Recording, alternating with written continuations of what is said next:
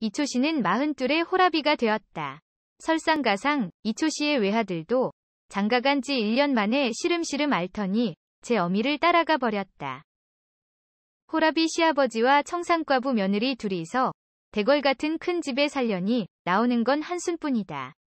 이초 씨는 대가 끊어지고 호라비가 된 자신의 신세도 처량했지만 청산과부 며느리를 보면 가슴이 찢어졌다. 이초 씨는 장날마다 며느리를 위해 동백기름, 밥가분, 비단옷감에 깨어시며 강정이며 주전부리를 사다 줬지만 며느리 얼굴에 깊게 서린 수심은 사라지지 않았다. 하루는 이초 씨가 며느리를 불러앉혔다. 얘야, 이대로 세월만 축낼 수는 없다. 네가 개가 할 자리를 찾아보자.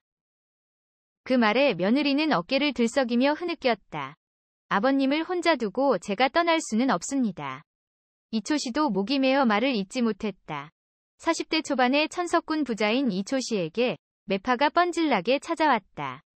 하지만 이초씨는 내가 세장가를 가면 며느라기 상심은 더 크다. 며 번번이 돌려보냈다. 아닌 게 아니라 이초씨도 세장가는 들어야 하는 것이 아이를 낳아서 대를 이어야 하고 이대로 늙기엔 너무 많은 세월이 남았다. 강 건너 혼인 잔치에 갔다가 얼근이 취해 들어온 이초씨는 며느리를 불러 단판을 했다. 너는 나를 두고 제가 할 수 없다고 하고 나는 너를 두고 차마 재혼할 수 없다고 하다가 세월만 날려보냈다. 아무리 생각해도 네가 먼저 개가 하고 내가 뒤따라 혼처를 구하는 게 순서이니 그렇게 하자. 논 열마지기 땅 문서를 내게 줄 터이니 그걸 가지고 가면 괄시 받지 아니할 것이다. 며칠 후 며느리는 눈물바다를 이루며 친정으로 돌아갔다. 며느리는 친정에 가서 귀가 번쩍 뜨이는 소문을 들었다. 이웃마을의 호라비가 딸과 단둘이 사는데 집안이 찢어지게 가난해 스무 살이 넘은 딸을 시집도 못 보내고 있다는 것이다.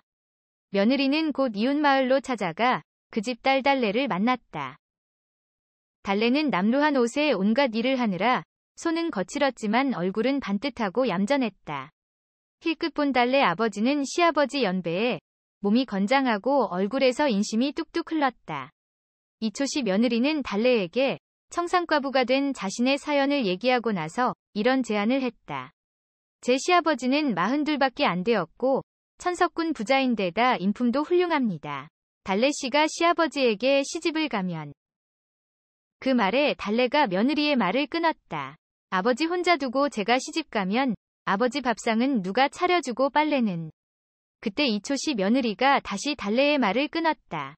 제가 들어오면 되잖아요.